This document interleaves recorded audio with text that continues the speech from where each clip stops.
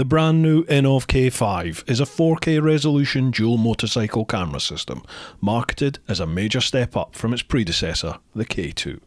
It features a fully waterproof to IP67 4K front camera, which also houses the inbuilt DVR module, a 1080 rear camera, which is also fully waterproof to IP67, upgraded industry leading 5Hz GPS receiver, a remote to let you monitor and control the system whilst riding the bike, upgraded dual band onboard Wi Fi, and an external microphone.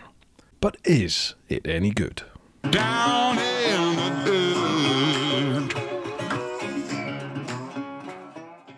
And here it is. The INNOVV K5 comes stylishly presented in a foam lined box with everything you need for installation.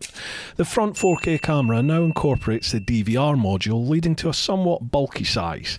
The rear camera is still 1080 resolution, there's now a remote, upgraded GPS, all mounts and fixings, the DC converter to power the system, some info on suitable SD cards to handle the upgraded 4K, comprehensive instructions including wiring setup, possible mounting options, and a rundown of the app. So the cameras themselves, starting with the new 4K front camera. It's quite a chunky beast as it integrates the DVR module into the camera itself due to the cable limitations of 4K data transfer. It's got an inbuilt thread for mounting and watertight housing for the SD card, accessible by removing these tiny screws which are very easily lost. All the various components connect via their respective cables to the front camera, meaning mounting locations are somewhat limited. The rear camera is very similar to the previous K2 model, has a max resolution of 1080 at 30 frames per second, but has improved low light performance and near infrared sensitivity. The GPS has been improved to now include 5Hz high speed GPS, meaning the signal is stronger and refreshes faster. It's got a remote which you can mount in a variety of locations, meaning you can easily see if the system is operating correctly, as well as manually save files or take some pics. The sound on the previous K2 model was very basic, so we now have an external mic which you can mount anywhere you like. As well as mounting somewhere on your bike to get optimal engine noise, you can even put it inside your lid and do your best TMF impression. I'll be giving that a go shortly. The DC converter has been further improved to fifth generation status. INNOVV have listened to feedback and now incorporate terminal heads to the positive and negative cables that connect to your battery, and the triggered live cable now comes ready stripped, meaning installation really is a cinch. The K5 comes with all mounts, nuts, bolts, bits and bobs needed to get it fitted, and there's a full installation vid coming next, if it's not yet available up in the top right callout. So let's see what it's actually like on the bike. Now I've just come out into my garage ready to go out on the bike. Now see look, the screws just fall out. If you're to do this INNOVV, could you could you make it so that at least these screws stay in there because now they're loose. I'll lose them. Okay, so what is this like? On the old one it was a nightmare getting the SD card out. This looks actually yeah, so even with my fat little fingers and no nails, I can pull the SD card out no problem. That's a lot better than the previous one. So that was a 256 gig SanDisk Extreme Pro card, that one. And I'm now putting in a SanDisk Extreme 512 gig card. Now, there are some conditions on your SD card because this is now 4K. So read the instructions, they're quite detailed on, on INNOVV, and these are the ones it recommends. So that's what I'm going to pop in. Amazing, that's 512 meg. Incredible, isn't it? Whack that in, that's it in there. Now we've got to put these daft wee screws back in. I'm definitely going to lose these screws. What I will check once we've been out on the bike is I'll check what sort of speed you can download on the app. So bear in mind, wherever you mount this camera, now obviously I've put, popped it on Velcro, so I've given myself that flexibility.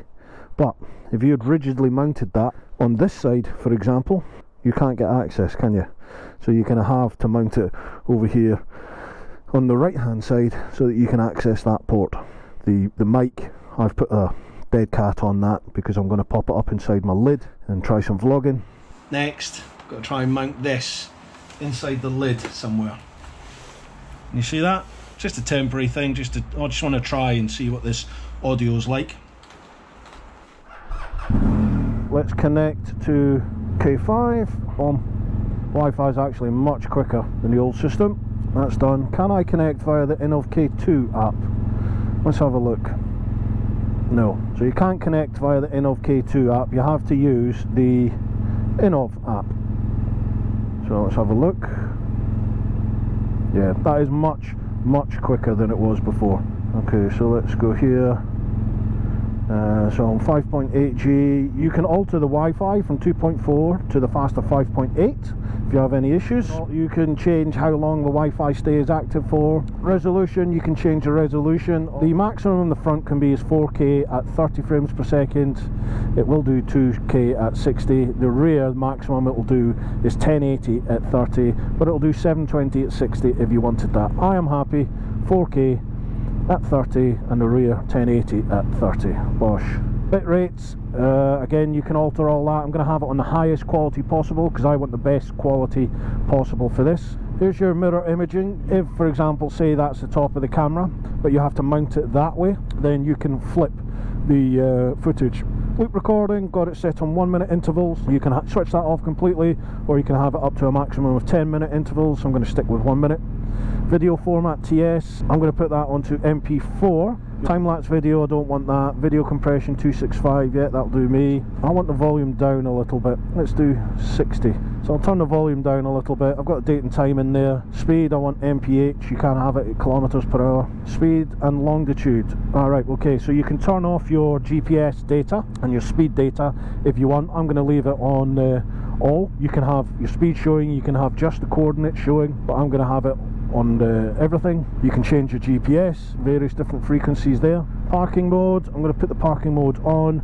G-sensor is basically, it's like your bump sensor. So how much of a bump does the bike need to feel before it either activates the parking mode, like starts recording when you're stopped, or alternatively, if it detects something that it thinks you might want to see, then it will lock that and put it into like a saved folder. Uh, what else we've got here? Oh, there's loads of stuff, absolutely loads of stuff. At the moment, if you look at the remote you can see the green light for recordings constant and the Wi-Fi the blue Wi-Fi on the right that's constant. So that tells us that the Wi-Fi is connected and the camera is recording. The GPS is blinking because it's got no GPS uh, signal yet because we're inside. As soon as we go outside that will change. Right oh so we'll whack that in there. Connect that up. Bosch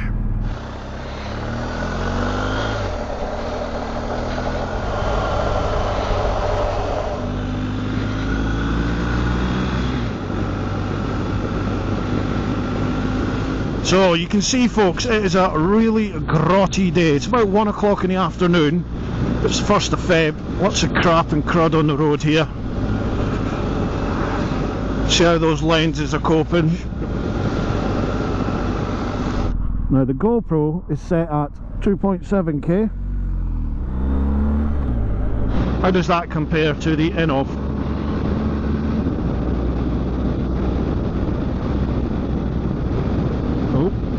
Slow down to 40 and what is the sound like? This is the sound with the GoPro. Hi I'm just doing a review of the new INNOVV 4K motorcycle dashcam what do you think?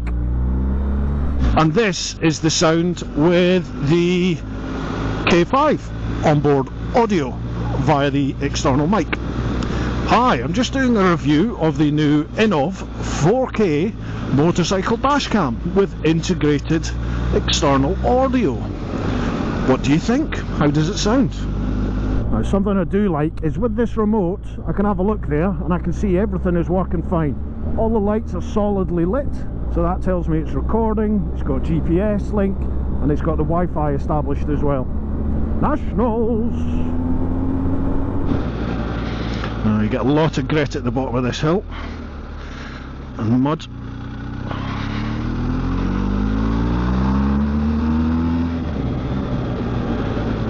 Ooh, of course, slidey on that road. So how does it cope in these sort of darker situations with the light levels fluctuating as we're coming through the trees? Now it's set on the highest bit rate, so the quality should be good. Does it compare with the GoPro? What do you think?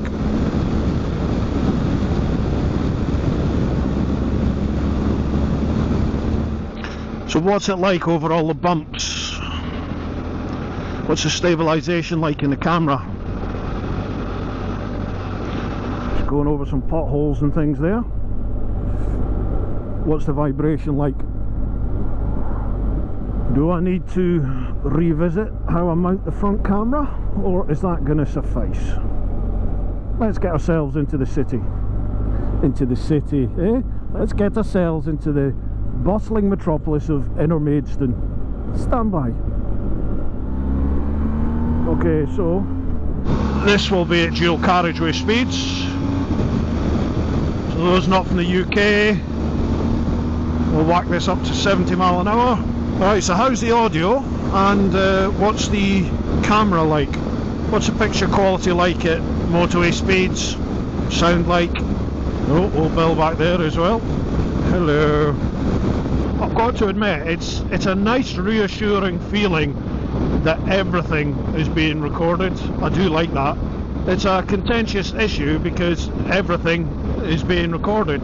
But for me, like my days of being a total hooligan are, are, are done. Certainly on the road anyway, like around here, there's just no point. Maybe when I'm abroad up in the Spanish mountains I'll have a bit of fun, but here I'm just sort of like, it's, it's not, this is my livelihood now, so I don't want to risk it. Ah, on the remote itself, that'll signify and tell you whether everything's working okay, which all seems to be at the moment.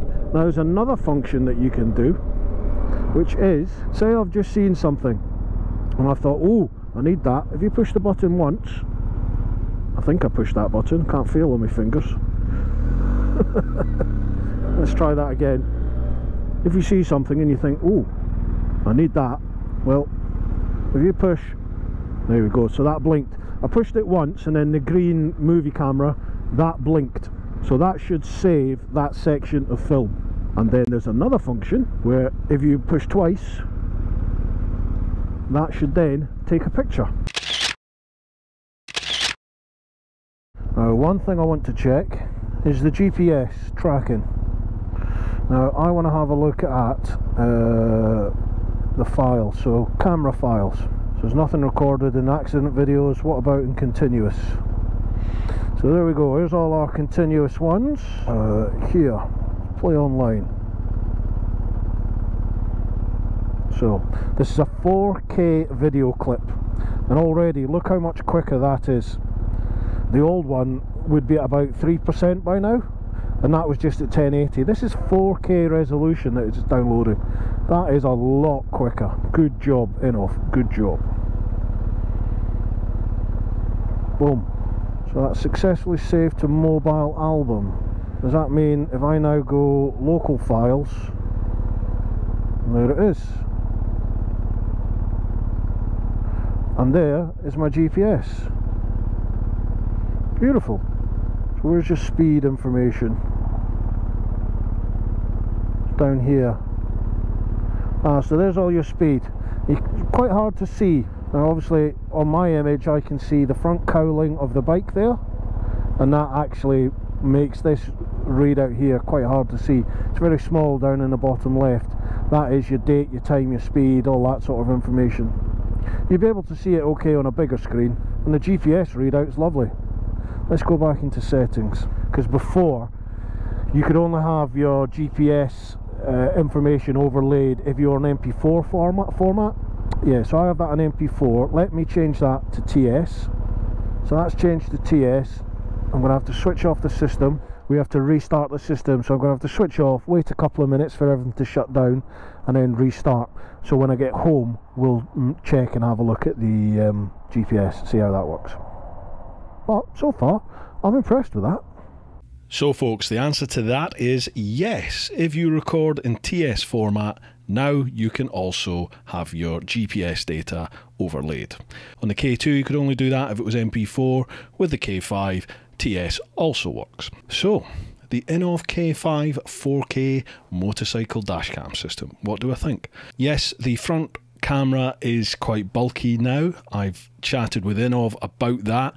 Apparently, it's due to the limitations of trying to get 4K resolution, 4K information down a cable to a separate DVR module for the price bracket that they're looking at. That's just not possible. That's why everything's integrated into that one camera at the front.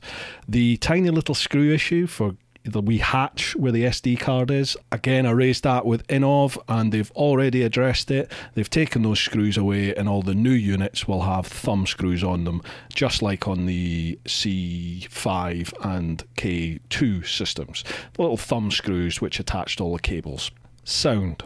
What did you think about the onboard mic for the K5? I was quite impressed to be honest. It's actually it actually sounded a little bit crisper than the GoPro mic that I use. My GoPro sounded a little bit muffled in comparison. However, the K5 was quite tinny, quite treble heavy. I could fix that I think in post with a little bit of magic, but the footage that you see in this vid, there's no post color correction, there's no audio correction. That's as they came out the cameras, cameras, both for the GoPro and for the K5. On the subject of the mic, I also tried taking the mic and popping that under the seat right near where the DVR module is. I just ran it down the sort of cowling on the side of the tank, following where all the other cables are You'll see that in the installation vid coming very soon. And this is what I got.